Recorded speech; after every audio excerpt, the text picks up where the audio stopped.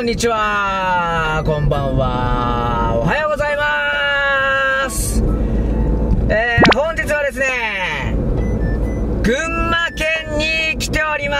ま。ずは概要欄 URL より前回の動画をご覧いただけたら嬉しいです。えー、吹割の滝という東洋のナイアガラと呼ばれる滝に行ってきて、えー今からあ本日宿泊する宿にチェックインする予定です。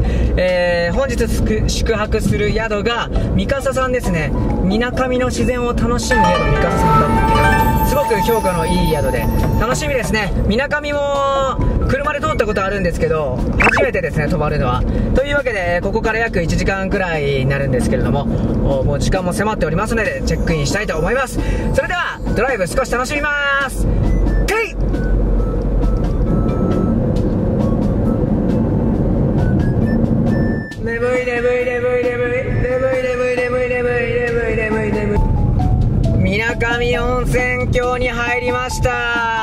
すぐ宿に着きます。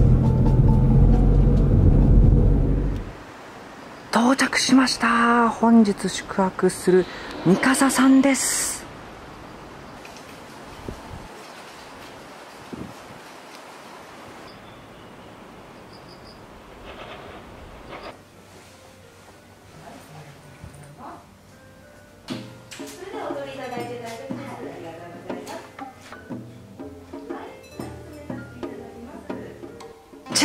しました。それではお部屋紹介です。すごくいい部屋です。広い。なんと15畳って言ってたかな。景色も。えー、めちゃめちゃいい。景色も良くて。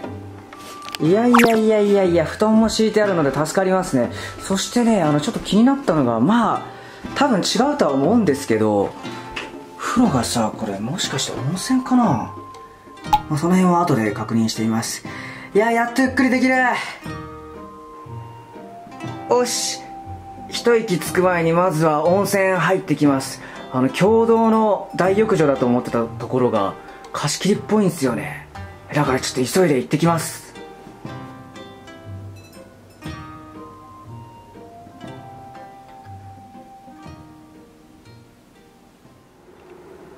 温泉入ってきました。気持ちよかったです。あの残念ながら温泉内は、えー貸し切りでも撮影は禁止ということで、えーホームページとかにもし写真があればそちらを貼ってお見せいたしますがあのー規模を貸し切りできるなんて贅沢すぎますね。露天と内風呂もついてたしあとね合計で3箇所あるのかな。あと内風呂が2つあるみたいなんですけど夜また露天風呂入りに行くのが楽しみですね。もう露天風呂しかきっと入れないと思います。えー、それではこの後どうしようかな。ゆっくりするか寝るかみなかみの温泉街を探索するかしようかなと思ってますがみなかみは明日でいいかな。なんかします。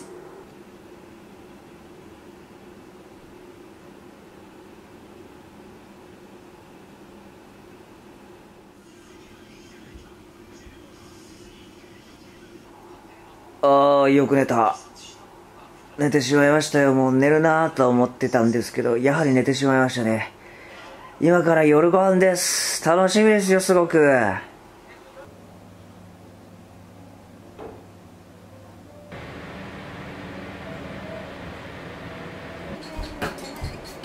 来ました。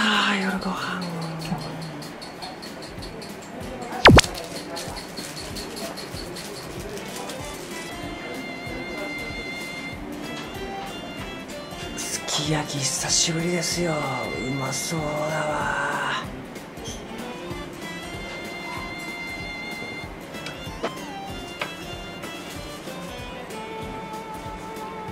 ビールいただきます。乾杯。美味しそうな豚肉が来ました。麦豚って言ってたから麦豚の塩麹焼きだそうです。うまそう。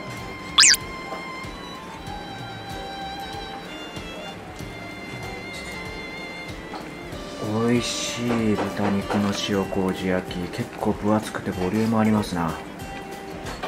続いてすき焼きいっちゃいます。き焼きうまいわ。久しぶりに食べたけどまたやりたくなっちゃうねすき焼き。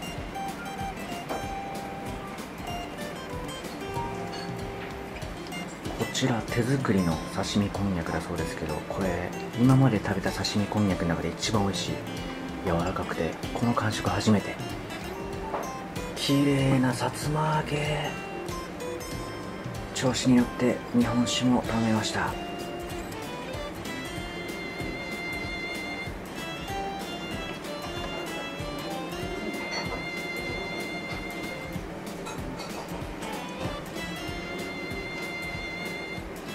ラストデザート。ごちそうさまでした。改めてごちそうさまでした。うまかった。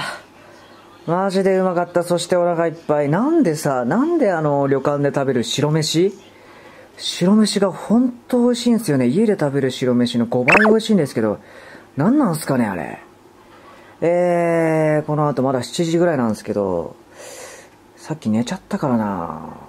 ゆっくりするしかないっすよね。どうしよ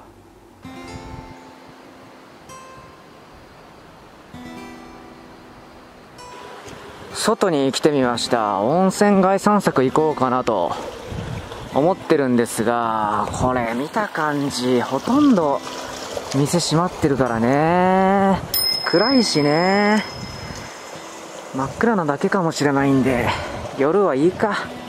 まあけどあの素泊まりで来られた方はああいう居酒屋さんとかで夜ご飯を食べるっていう楽しみもありますからね。いいっすね。外に来たついでに、えー、普段あまり吸わないタバコを吸うという贅沢でまた風情のある行動をさせていただきます。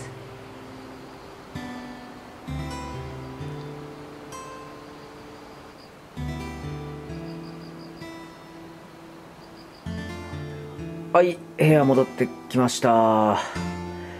誰も露天風呂とか入ってる様子ないんで先に入ってきちゃおうかな温泉。であとも部屋でゆっくりしようかなという流れですね。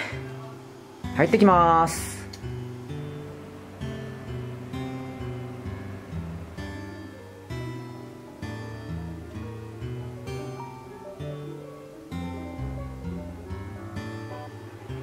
ふう温泉入ってきました。気持ちよかった。やはり夜の温泉は昼に比べると。5倍は気持ちいいわ。少しずつ寒くなってきてますからね。これからの季節なんてどんどんどんどん寒くなって温泉が染みていくんでしょうね。えー、ちなみにこちらの温泉なんですけれども、えー、無料貸し切りなのは平日のみと書かれてましたね。やはり平日旅行最強ですね。えー、朝も入れたら入りたいなえー、それではこの後ゆっくりして晩酌して、えー、早めに寝ようかなと思ってます。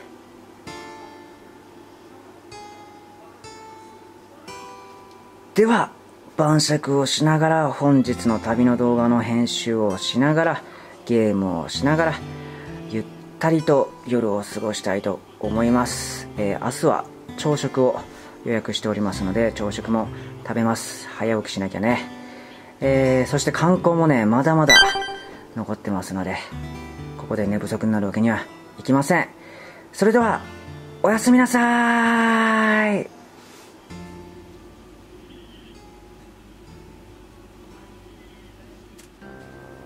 おはようございます。現在朝7時です、えー、朝ごはんは朝の8時からなのでそれまで温泉に入ってきます。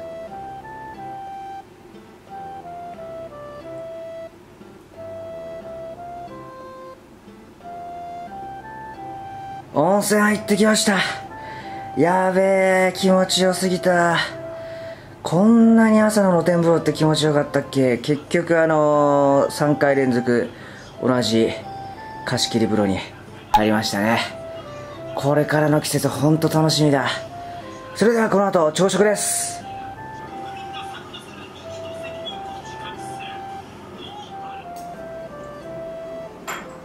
いただきます。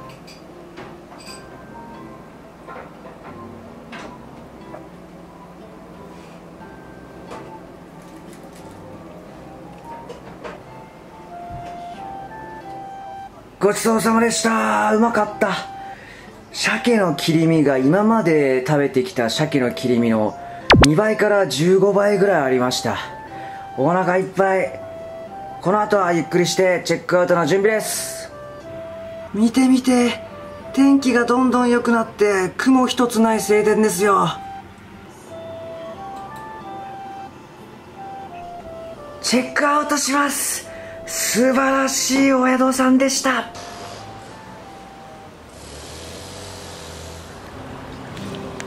ではですね、えー、昨日できなかった水上温泉の温泉街を探索します。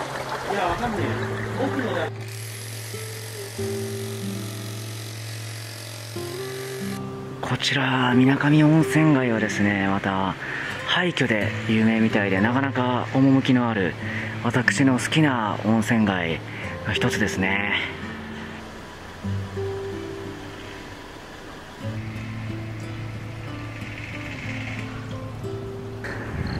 歩き始めてまだ間もないですけれどもあのそこまですごく廃墟だらけという感じもなくですね新しくオープンしたお店も結構見受けられてまだそんなに廃れた温泉街っていう感じは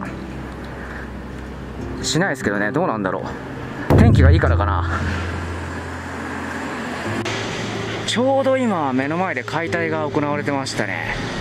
もしこの廃墟があったら結構異様な雰囲気があったのかもしれない。家具屋工事って読むんですかね。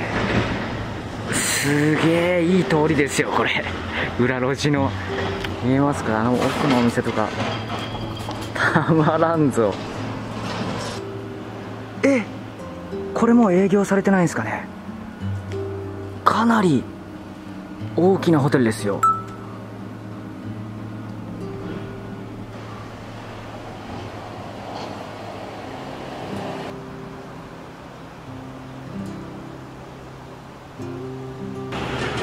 おそらくメインのところまで来たかなという感じですかね。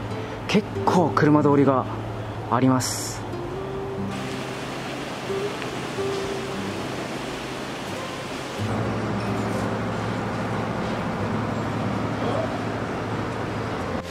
橋の上からの景色です。左手に廃墟が見えますけれどもかなり川が綺麗。すごい綺麗。青いっすね。で奥の方にまだ営業している有名なホテルがいくつかあります。こちらの圧巻の渓谷。そして現在も経営されている聚楽でさらに奥に見えますか。あちらはおそらくすでにう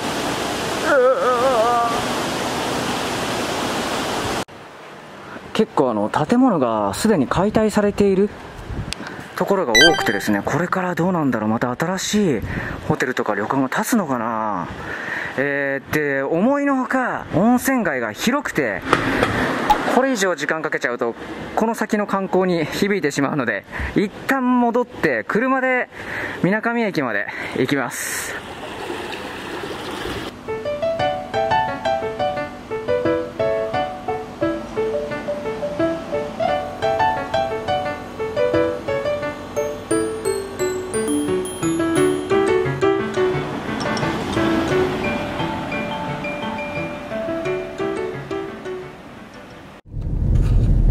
車で駅に向かってます。そして先ほどとは違う道ですね。先ほどあの、メインの温泉街の通りを走ったんですけども、裏手というのかな、これは。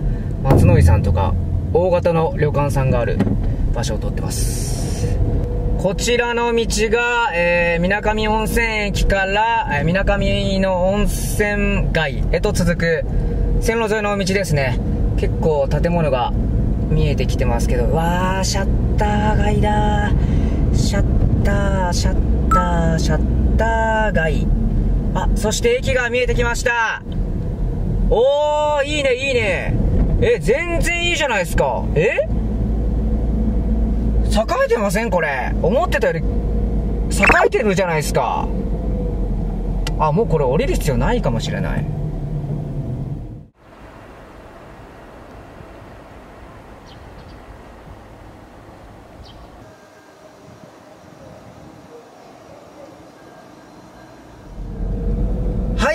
わけで、みなかみ温泉いかがでしたでしょうか？あの、思っていたよりも、まあ自分が見た時期は、あの廃墟も少なくて解体されてる建物が多かったので、廃墟自体はそこまで言うほど多くはなかった気がします。もう鬼怒川温泉の方が圧倒的に廃墟の数は、まあ規模も違いますけれどもね、えー、目立っているような気はしました。そして今回宿泊した三笠さんはね、すごくいい旅館さんだったので、またぜひ行ってみたいなと。これからの水上温泉が楽しみになりました。えー、それではですね、この後は、また観光します。えー、今から谷川岳と土合駅に向かいますので、今回の旅はまだまだ続きますよ。えー、続きはですね、概要欄 URL よりご覧いただけたら嬉しいです。それではまたお続きの動画でお会いしましょう。バイバーイ